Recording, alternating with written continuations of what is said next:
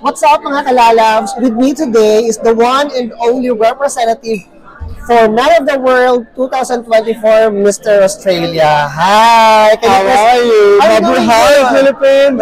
Hi! Can you please introduce yourself to our viewers? Absolutely. Hello, Philippines. Hello, Australia. This is Amit, and I'm representing Australian Man of the World 2024. By the way, um, I saw your performance earlier. You are the first one always to come out because you represented uh, Australia. Is there any pressure being the number one for this pageant? I mean, the only pressure is if I'm coming out number one, I should win also as a number one. So that's the goal. That's the aim. goal, right? That's the when you aim. started number one. You should, you should be the ending as the number one. As well. Exactly, exactly, exactly. But, by the way, um, can you tell us something about your country that you're proud of?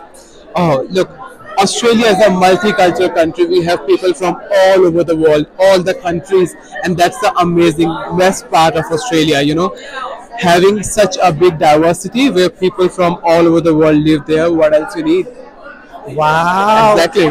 Earlier, um, because talking about your country, I can see earlier during your national costume, you have carried your costume well. Yes. What was the story or the concept of your costume earlier? Absolutely. So, my trousers, they were a tribute to the Aboriginal people of Australia. Yeah.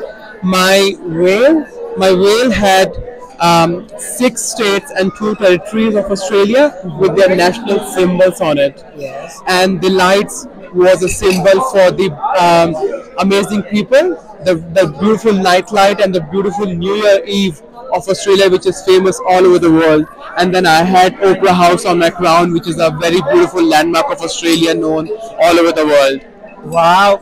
Thank you so much for sharing your story about your costume. Last question, can you share to us your advocacy for Man of the World 2024? absolutely my advocacy for man of the world is education and compassion because education is the solution to all the problems in the world you know. Um, we don't need to actually help someone. We just need to educate them and then they can help themselves. So we have to build their self-confidence through education. And in terms of compassion world is a one big family and it's our responsibility to take care of each other and that we can do through love and compassion. So i'm advocating for education and compassion. Wow, I love the fact that you have you were able to share to us the the um how you define compassion and education at the same time. Yes. I hope our viewers could be able to learn something of, about your advocacy, which is a very important education, Absolutely. right? Absolutely.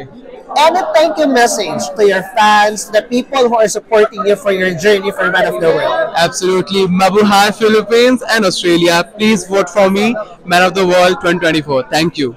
Thank you so much for sharing your story Thank with you. us, and thank you. Good luck for your performance. thank you okay? so much. Thank you. Thank you.